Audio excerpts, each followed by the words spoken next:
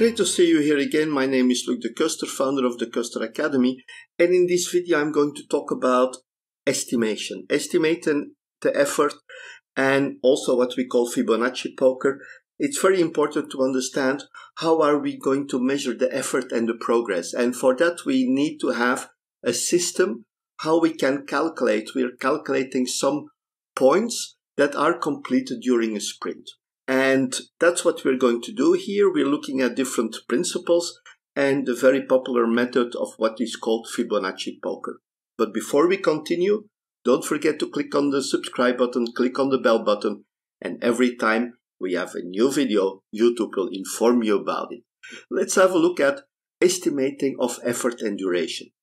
Now, when we look at estimations, typically in the old way, we are looking at absolute um, estimations. We want to know a time, a duration of an activity, eventually also having some standard deviation, so we have some uncertainty in here. But basically, the numbers are absolute, they're not relative.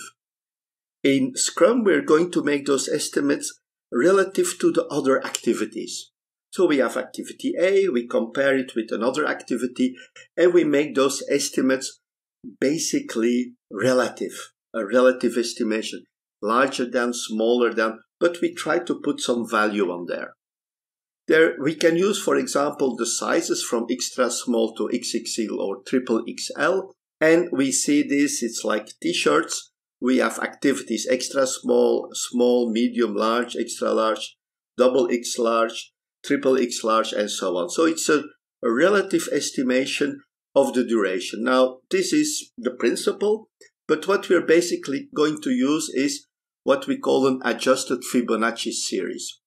We use the same principle of relative estimation and we find the, or you may remember, the original Fibonacci series. Eh? It's one, one, two, three. So it's always the next item is the sum of the two previous ones. And we start with the two initial parameters. Parameter 0 and 1 is 1 and 1. Basically, this is one of the elements that we find in also computer programming. Fibonacci was very famous with the Da Vinci Code. It's very popular to use it and it created a certain um, specific way of dealing with things. We also can find the golden ratio with this, a lot of mathematical things around the Fibonacci series. Now, what we have is we will have a modified Fibonacci series for Agile, typically for Scrum. We start with half, one, two, three, five, eight. We still have the series like it is, only the first one is a little bit different.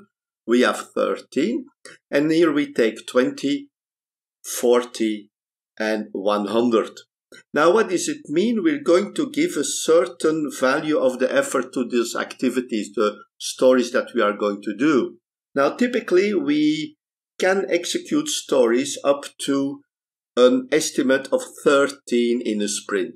If we have higher estimates like 20, we will try to split it in different activities. For example, we can take 2, 3, and 5.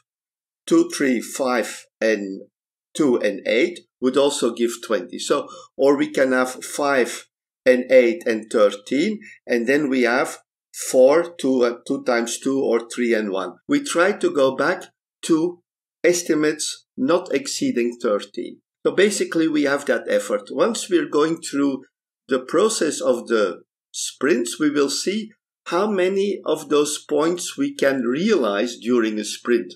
And that will describe the speed, the speed that we can use to estimate when the project will be finished. A very interesting way to do, but it's a little bit adjusted in um, Scrum because we're going to talk about Fibonacci poker. And Fibonacci poker is based on the Delphi principle.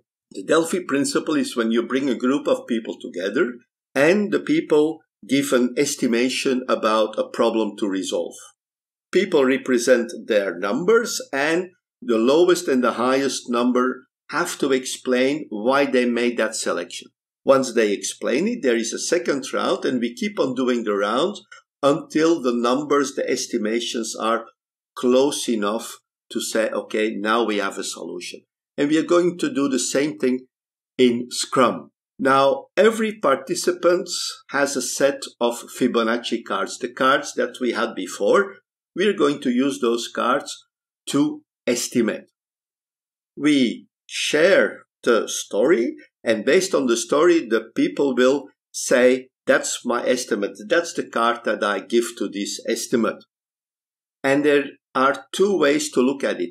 When the range is two Fibonacci numbers, for example, here we have 2, 3, 5, and 5, then we say we have an estimate, which is the average, is 3.75.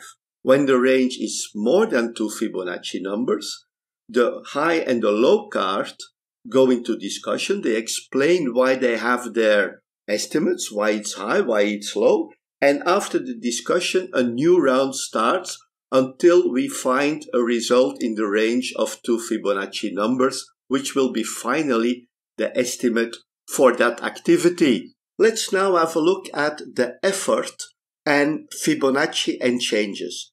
Now, when we consider agile methods like Scrum and Kanban, typically Scrum, we estimate the effort using the system like we have the Fibonacci estimating. And we're looking at the estimation, the duration of the work, how long does it take to complete the effort.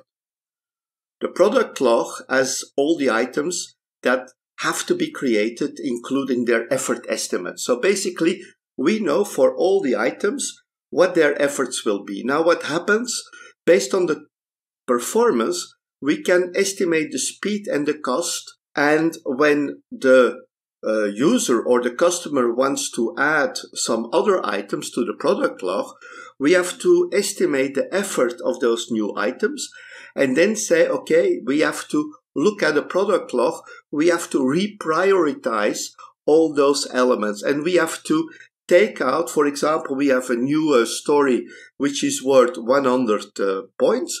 We have to take out a total of 100 points to compensate for this. We adjust the priority. And that's basically the only thing that we are going to do here is changing that priority and finding out what we can do there. So this is the way we use those uh, Fibonacci estimates to manage our project, to find how fast we are doing the project, and basically all the items come together. We know when we have new items, when we reprioritize, we can tell the customer exactly what can be done and what cannot be done. So that was it for this video. Very important to understand how we do the estimation. Of course, before finishing, don't forget to click the subscribe button, click the bell button, and every time we have a new video, YouTube will inform you about it. Thank you very much, and I'm looking forward to seeing you in our new videos. Thank you, and bye bye.